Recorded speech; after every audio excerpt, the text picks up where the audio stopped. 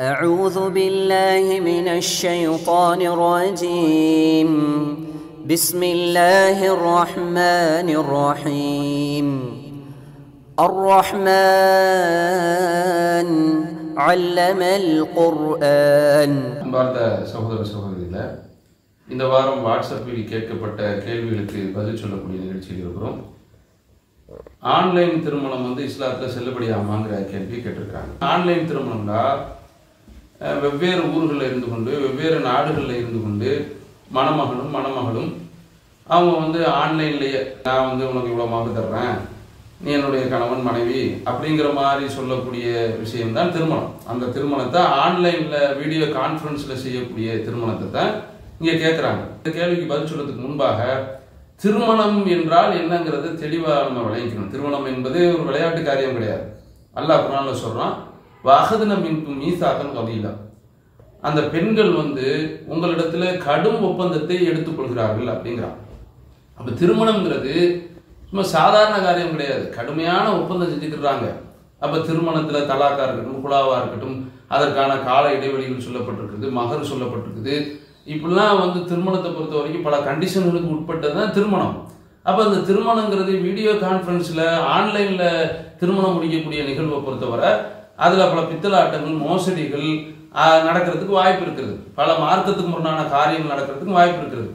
முதல் விஷயம் அதில் வந்து திருமணத்தை பொறுத்தவரை அவங்க வந்து சம்மதம் கேட்கணும். அல்லாவுடைய தூதர் சொல்கிறாங்க லா துன்க தைவு ஹத்தா துஸ்தமர ஒரு விதவை பெண் வந்து அவளிடத்தில் ஆலோசிக்கப்படுகின்ற வரை அவள் திருமணம் முடிக்கப்பட மாட்டாள். வலா துன்கஹுல் பிக்ரு ஹத்தா துஸ்தன ஒரு கன்னி பெண் அவளிடத்தில் அனுமதி கேட்கப்படுகின்ற வரை திருமணம் முடிக்கப்பட மாட்டாள் அவளுடைய அனுமதி என்னண்டா? அவ இதுனுஹா அஸ்முத் அவளுடைய அனுமதி என்னண்டா? அமைதியாக இருக்கிறதான்னு சொல்கிறாங்க அல்லாவுடைய தூதர் சொல்கிறாங்க அப்போ அனுமதி கேட்கணும். ரெண்டு கன்னி பெண்ணாக இருந்தால் அனுமதி கேட்கணும். விதவை பெண்ணாக இருந்தால் ஆலோசிக்கப்படணும். அப்போ இந்த ரெண்டு விஷயமே இருக்கணும். அது அந்த ரெண்டு விஷயத்தை பொறுத்த வரைக்கும் எப்படி நடக்கும்னு கேட்டால் ஏதோ ஒரு இடத்துல ஏதோ ஒரு மூலையில் ஆன்லைனில் திருமணம் செய்து கொள்வதாக இருந்தால் நிர்பந்திக்கிறதுக்கு வாய்ப்பு இருக்கிறது. நிர்பந்திச்ச திருமணத்தை திருமணம் முடிச்ச காரியங்களை திருமணங்களை எல்லாம் அல்லாவுடைய தூதர் ரத்து செஞ்சிருக்கிறாங்க. திருமணமே செல்லாதுன்னு சொல்லியிருக்கிறாங்க. அப்போ நேரடியாக நடந்தால் இந்த பிரச்சனை வருமான்னு கேட்டால் வர- அதே வரும். ஆனால் அதை விட மிக மோசமான ஒன்று தான் இந்த ஆன்லைன். இப்போ வந்து நேரடியானா தெரிவதற்கு வாய்ப்பு இருக்குது. எங்கேயோ ஒரு நாட்டில் அமெரிக்காவிலேயே இருக்கிறாங்க. வேற ஒரு நாடுகளில் இருக்கிறாங்க. உலகத்தில் பல கிலோமீட்டர்களுக்கு அப்பால் இருக்கிறாங்க. அங்கே இருந்து கொண்டு திருமணம் முடிக்கும் போது வாய்ப்புகள் இதை விட நேரடியை விட அதிகமான வாய்ப்புகள் சம்மதம் கேட்கக்கூடிய விஷயத்தில் ரொம்ப அதில் வந்து மோசடி நடப்பதற்கு வாய்ப்பு இருக்கிறது. ரெண்டாவது பெண்ணை பார்க்கக்கூடிய நிலைமையை பொறுத்தவரை அங்கே இருந்து திருமணம் முடிக்கக்கூடியதை பொறுத்தவரை பார்க்குறாங்கல்ல. பெண்ணை பார்க்குறதுங்கிறது முக்கியமான ஒரு விஷயம். ஒரு நபித்தோழர் வந்து மனம் பேசுகிறேன்னு சொல்கிறாரு அப்போ ருசுல்லா கேட்குறாங்க நகர்த்த இலைகா அந்த பெண்ணை பார்த்தியான்னு கேட்குறாங்க இப்போ வீடியோவில் எல்லா கோல்மால் பண்ணலாமே. இல்லாத எல்லா வேலைகளும் மார்பிங்க என்ன வேண்டாலும் செய்யலாமே. அப்படியான நல்லதானே இருக்கிறது. அப்ப பெண்ணை பார்க்குற விஷயத்தை பொறுத்தவரை இப்போ இதில் நம்ம கவனிக்க வேண்டிய அது மட்டும் இல்லாமல் வழி முக்கியம் சாட்சிகள் முக்கியம். அல்லா குரான்ல சொன்னா பன்கி உன்னை இது நீ அகலிகின்ன அவர்களுடைய குடும்பத்தினுடைய சம்மதத்தோடு அனுமதியோடு அவர்களை வந்து திருமணம் முடியுங்கள் அப்படின்னு நல்லா சொல்கிறான் இப்போ அந்த அடிப்படையில் திருமணத்தை பொறுத்த வரைக்கும் திருமணத்தினுடைய நடைமுறைகளை பாத்திலாக்கக்கூடிய அதை வந்து நாசமாக்கக்கூடிய காரியம் தான் ஆன்லைன் திருமணங்கள்லாம் நடந்துச்சுன்னா அப்படியான ஒரு நிகழ்வு தான் இருக்கும். இன்னும் ரசுல்லா காலத்தில் எடுத்துக்கிறங்க. ரிசுல்லா காலத்தில் இது மாதிரி இந்த வீடியோ கான்ஃபரன்ஸ் இல்லாட்டாலும் இது மாதிரி நடக்கிறதுக்கு வாய்ப்பு இருக்கிறது வேறு சில நூறு கிலோமீட்டர்களுக்கு அப்பால் இருந்தாங்க. கடிதம் மூலமாக திருமணம் முடிச்சுக்கலாம்ல. இதான் நீ தான் என்னுடைய மனைவி இவர் தான் வழி இவர் தான் சாட்சி அப்படின்னு சொல்லி கடிதம் மூலமாக திருமணம் முடிச்சுக்கலாம்ல. அல்லாவுடைய தூதர் காலத்தில் அது இல்லையே. விதத்து அப்படி இல்லாத ஒன்று செய்யும்போது போது இது வந்து அல்லாவுடைய தூதருடைய வழிமுறை. எப்படி காமிச்சிருந்தாங்களோ அந்த சபையில தான் இருக்கணும். சபையில இருந்தால்தான் அதை சாட்சியாக்கி பொறுப்பாளராக்கி செய்யக்கூடிய நிலைமை இருக்கணும். எங்கேயோ ஒரு மூலையில இருந்து கொண்டு திருமணம் முடிப்பது என்பது அது மார்க்கத்தில் இல்லாத காரியம். மார்க்கத்துக்கு எதிரான பல காரியங்களை மார்க்கத்துக்கு முரணான பல பித்தலாட்டங்களை மோசடிகளை பாதிக்க ரெண்டு தரப்புலையும் பாதிப்பு ஏற்படுத்தக்கூடிய பல காரியங்களை செய் மாப்பிள்ளையை எடுத்துக்கிறங்க. மாப்பிள்ளை என்ன செய்யலாம்? மாப்பிள்ளை வந்து பார்க்க வந்து வீடியோவில் நாற்பது வயசு இருபது வயசு கூட காட்டலாம். அப்படியான நிலைகள்லாம் இருக்கிறது. அப்போ அந்த மாதிரியான மோசடிகள் நடக்கிறதுக்கும் வாய்ப்பு இருக்கிறது. அப்போ இதையெல்லாம் தவிர்க்கிறத பொறுத்தவரை நேரில் வந்து எவ்வளோ காரியங்களுக்கு நேரில் வர்றாங்க. இது ஒரு அல்லாஹ்வுடைய தூதர் காட்டி தந்த வழிமுறை. இதை உதாசீனப்படுத்திக்கிட்டு நான் வந்து ஒரு மூலையிலேருந்து திருமணம் முடிப்பேங்கிற நிலையை பொறுத்தவரை இது சரியான ஒன்றா இருக்காது. இது மார்க்கத்தில் செல்லுபடியாகக்கூடிய திருமணம் கிடையாது. அடுத்த ஒரு கேள்வியை கேட்டிருக்கிறாங்க. நேர்ச்சை செய்தவர் உயிருடன் இருக்கும்போது இன்னொருவர் அவரது நேர்ச்சையை நிறைவேற்றலாமா? பிறரை கொண்டு நேர்ச்சையை நிறைவேற்றுவதாக நேர்ச்சை செய்கிறார்களே இது கூடுமாங்கிற கேள்வியை கேட்குறாங்க.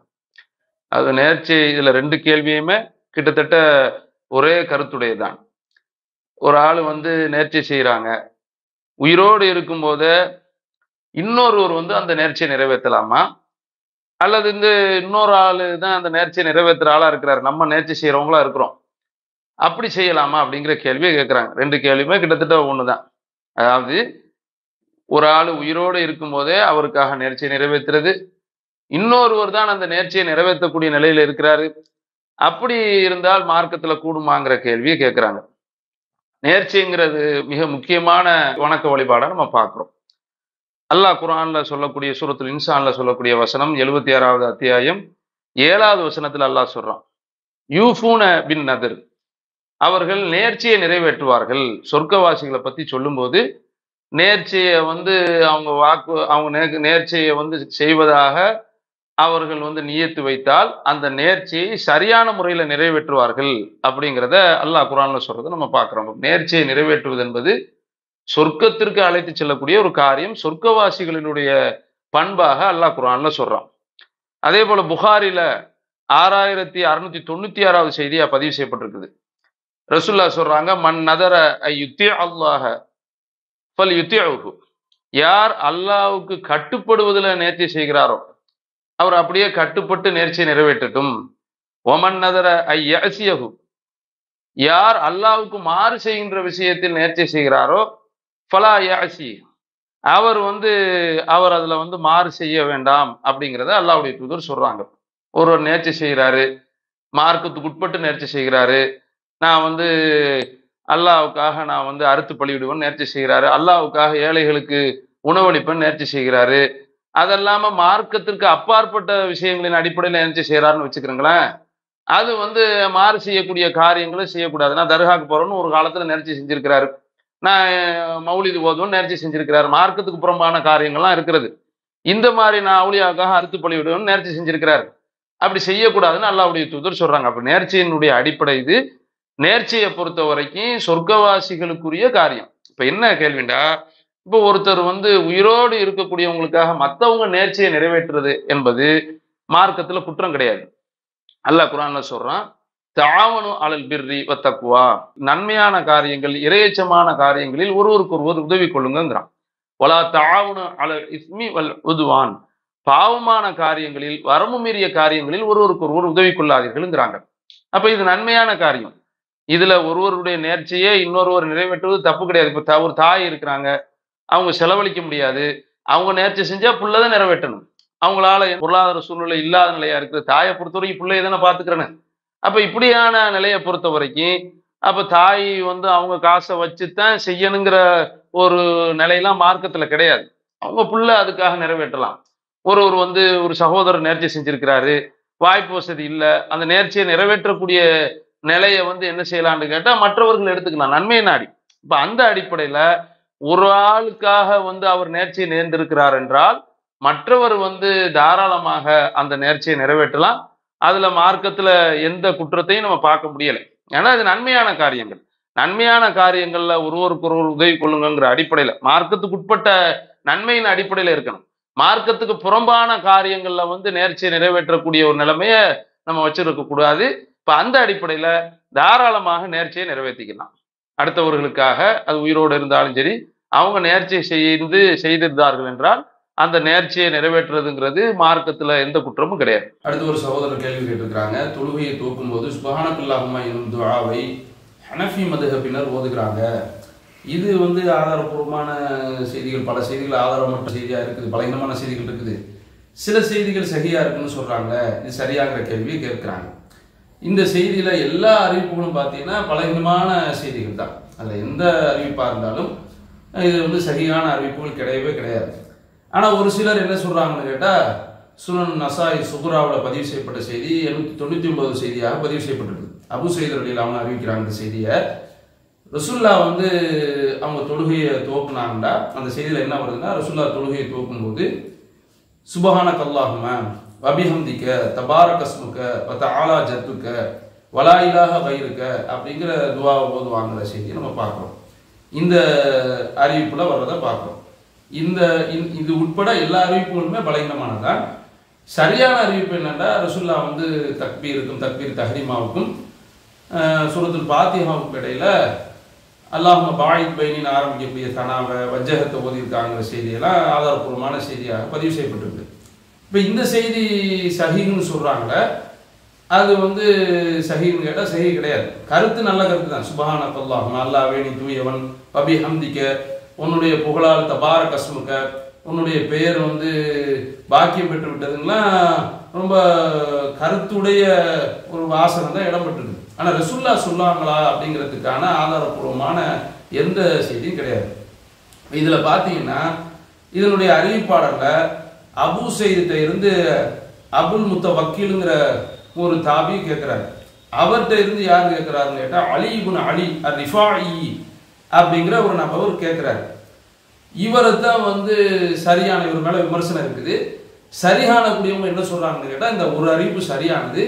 அலிபுன் அலி அர் ரிஃபாயியை பொறுத்த வரைக்கும் நபகமானவர் தான் அவர் பலகீனமானவர் கிடையாது அப்படிங்கிற வாதம் எடுத்து வைக்கிறத பார்க்குறோம்.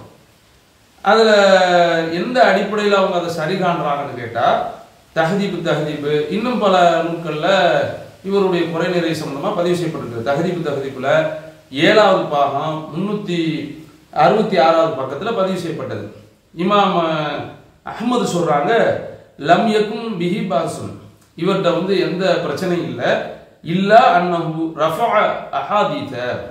இருந்தாலும் அவர் என்ன பண்றாருன்னு கேட்டா ஹதீஸுகளை வந்து மறுஃபு ஆக்குகிறார் அப்படிங்கிற குறைய சொல்றாங்க. இது குறையே கிடையாது. இது காரணம் தெளிவுபடுத்தப்படாத குறை அப்படின்னு சொல்றாங்க. ஹதீஸ்களை பொறுத்த வரைக்கும் அல் ஜரஹ் காரணம் குறை தெளிவுபடுத்தப்படணும். அது தெளிவு சும்மா இவர் சரியில்லாதவர் அப்படின்னு சொல்லக்கூடாது. காரணங்களோட தெளிவுபடுத்தணுங்கிறத ஹதீஸ்களை அறிஞர்களுடைய நிலைப்பாடு. ஒரு திருடன்னா திருடனுக்கு காரணம் சொல்லணும்.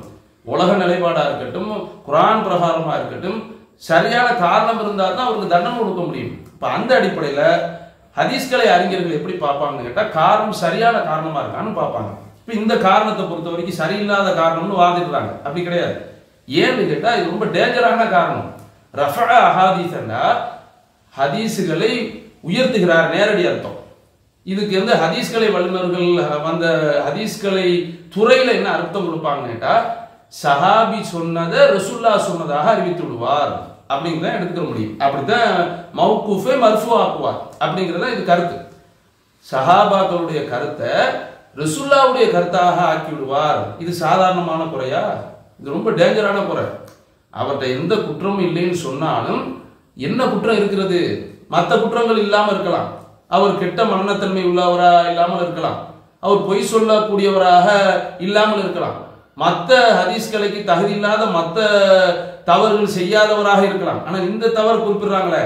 இருந்தாலும் இல்லா அன்னஹு ரஃபா அஹாதித அவர் வந்து ஹதீஸுகளை மர்ஃபு ஆக்குகிறார் அப்படிங்கிற அப்ப சஹாபாக்களுடைய கருத்தை சொந்த கருத்தை ரசுல்லா சொன்னதா சொல்லுவதுங்கிறது அவருடைய கேரியரே வீணாக்கக்கூடியதான் அவர் வந்து சொல்லக்கூடிய தகவலை வந்து மறுக்கக்கூடிய நிலையில தான் போகும் அது மட்டும் இல்லாம இமாம் அபு ஹாத்தமும் வந்து இதே மாதிரியே சொல்றாங்க. லைசபி பஹசுன்னு சொல்லிட்டு இந்த காரணத்தினால தான் வலா யுத்தஜு பி ஹதீஹி அவருடைய ஹதீஸ் வந்து ஆதாரம் எடுக்கப்படாது அப்படிங்கிறத சொல்றாங்க. அப்ப குறைங்கிறது இருக்கத்தான் செய்யுது. இதுல அபுகாத்தம் அபுஹாத்தம் பொத்தொன்பதுவா சொல்லியிருந்தாலும் இந்த அகமதுடைய கருத்தை மேற்கோள் காட்டி தான் அந்த தகவலை எடுத்து வைக்கிறாங்க அப்படிங்கிறத புரிஞ்சுக்கிறோம். இந்த அபுகாத்தமுடைய தகவல் எதுல இருக்குன்னு கேட்டா ஃபத்துல் பாரியில வந்து இபுனு ரஜப் எழுதின ஃபத்துல் பாரி.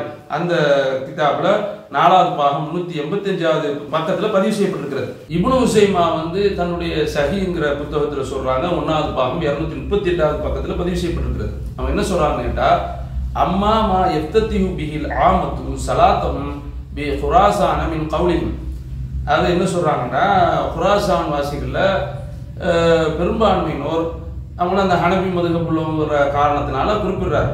தங்களுடைய தொழுகையை சுபான கல்லாமும் அபிஹந்திக்க தபார கஸ்முக அப்படிங்கிறத வச்சு தோக்குறாங்க. ஆனால் இதை பொறுத்த வரைக்கும் ஃபலா நாளும் ஃபி ஹாதா ஹபரன் சாபித்தன். அனி நபி ஸல்லல்லாஹு அலைஹி இந்த அஹ்லில் பில் ஹதீஸ். நாம வந்து இது சம்பந்தமாக ரசூல்லாட்ட இருந்து எந்த ஒரு உறுதியான செய்தியும் நமக்கு வந்து நாம் அறிய மாட்டோம் நமக்கு கிடைக்கல. இதுல இந்த அஹ்லில் மஹரி மாரிஃபத்தி பில் ஹதீஸ். ஹதீஸ் கலையில வந்து அறிஞர்களா இருக்கக்கூடியவர்களிடத்தில் ரசுல்லா சம்பந்தமாக ரசுல்லா வந்து இதை ஓதி இருப்பாங்கிறதுக்கு எந்த ஒரு உறுதியான செய்தியும் கிடைக்கலைங்கிற தகவலை இமாம் வந்து இபுனு ஹுசைமா குறிப்பிடுறத பார்க்குறோம். அது மட்டும் இல்லாமல் இது அல்லாமல் வந்து இவர்கிட்ட கேட்கக்கூடிய ஜாஃபர் இப்னு சுலைமான்ங்கிற ஒரு அறிவிப்பாளர் வர்றாரு. ஜாஃபர் இப்னு சுலைமானை பொறுத்த வரைக்கும் அவர் இப்போ சம்மந்தமாக இன்னும் பல அறிஞர்கள் குற்றச்சாட்டு வைக்கிறாங்க நியாயமான குற்றச்சாட்டு தெளிவுபடுத்தப்பட்ட குற்றச்சாட்டு. இமாம் அல் அஸ்தி சொல்கிறாங்க என்ன தகவல் சொல்கிறாங்கன்னு கேட்டால் இது வந்து தஹதீப் தஹதீப்பில் ரெண்டாவது பாகம் எண்பத்தி ரெண்டாவது பக்கத்தில் பதிவு செய்யப்பட்டிருக்கிறது. அவங்க சொல்கிறாங்கன்னா என்ன சொல்கிறாங்கன்னா அம்மா ஆமத்துல் ஹதீஸ். இவர் வந்து இவருடைய செய்திகளில் பெரும்பான்மை இது. பெரும்பான்மையான செய்தி என்னண்டா? நான் சாபித்தின் சாபித்து இருந்து அறிவிக்கக்கூடிய செய்தியாக இருக்கட்டும். பக்கியத்து அஹாதிசிஹி மனாக்கிற இன்னும் இது அல்லாத சாபித் அல்லாம சாபித்தல் பனானி இருக்கிறார். அந்த சாபித்தல் பனானிட்ட இருந்து அறிவிக்கக்கூடிய பெரும்பான்மையான செய்திகளாக இருக்கட்டும். இது அல்லாமல் மற்ற செய்திகளாக இருக்கட்டும்.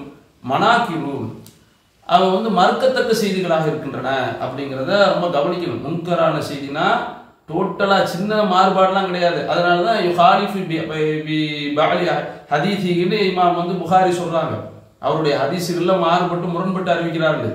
இப்போ இந்த அறிவிப்பில் இவர் தெளிவாக இமாம் அஸ்தி சொல்கிறாங்க இவர் வந்து சாபித்திட்ட மட்டும் கிடையாது ஒரு ஆள்கிட்ட மட்டும் கிடையாது. இன்னும் இவர் அல்லாத எல்லாத்தையுமே இவர் மாறுபட்டு அறிவிக்கிற முன்கரான செய்திகளை அறிவிக்கிறது தான் இவருடைய வேலைங்கிற மாதிரி இமாம் வந்து அல்ல அஸ்தி சொல்றாங்க. அது மட்டும் இல்லாம இமாம் தஹபியினுடைய தாரிகுல் இஸ்லாம்ல பதினொன்னாவது பாகம் ஏழாவது பக்கத்துல பதிவு செய்யப்பட்டிருக்கிறது.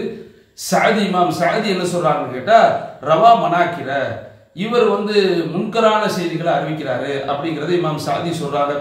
அது மாதிரி வந்து அதே தஹதீபு தஹதீப்ல ரெண்டாவது பாகம் எண்பத்தி ரெண்டாவது பக்கத்துல இமாம் இப்னுல் மதீனி சொல்றாங்க அலி இப்னுல் மதீனி சொல்றாங்க. இவரை பத்தி சொல்லிட்டு வரும்போது அக்சர் அக்ஸரு ஹதீதி சாபித்தின் வகைரிஹி சாபித் மட்டும் கிடையாது சாபித் இருந்து அறிவிக்கக்கூடிய இவருடைய அதிகமான செய்திகளாக இருக்கட்டும் மற்றவர்கள்ட்ட இருந்து அறிவிக்கக்கூடிய செய்திகளாக இருக்கட்டும் ஃபீஹா மதுருன் வ முன்கரும் அதுல வந்து கவனிப்பு இருக்கிறது நல்லா கவனிச்சு தான் அதை பார்க்கணுமா? முன்கரும் அதுல மறுக்கத்தக்க செய்திகளும் இருக்கிறது அப்படிங்கிறத சொல்றாங்க. அப்ப ரெண்டு அறிவிப்பாளர்கள்ல இந்த இது சஹீன்னு வாதாடுறாங்கல்ல. இந்த அலிபுன் அலி அர் ரிஃபாயும் அவரும் வந்து சரியானவர் கிடையாது.